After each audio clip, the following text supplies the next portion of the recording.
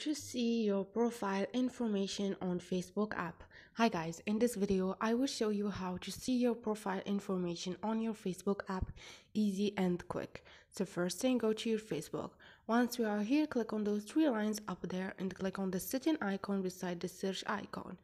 Now scroll down, you will find your profile information and all you need to do is choose which one you want to know.